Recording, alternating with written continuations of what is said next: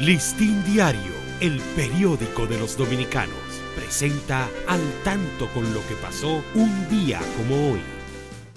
3 de febrero de 1863, Cayetano Velázquez encabezó una rebelión en Neiva, refiere José Gabriel García en su compendio de la historia de Santo Domingo al mando de 50 hombres.